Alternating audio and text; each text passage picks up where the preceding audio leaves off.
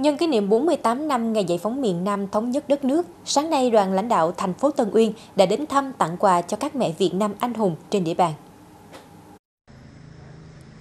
Tại mỗi nơi đến, các thành viên trong đoàn đã bày tỏ lòng biết ơn sâu sắc đối với những đóng góp to lớn của mẹ Việt Nam anh hùng đối với sự nghiệp giải phóng dân tộc, thống nhất đất nước, đồng thời ân cần hỏi thăm tình hình sức khỏe, cuộc sống của các mẹ, động viên mẹ và gia đình tiếp tục giữ vững truyền thống anh hùng cách mạng, tiếp tục là tấm gương sáng mẫu mực cho các thế hệ con cháu noi theo.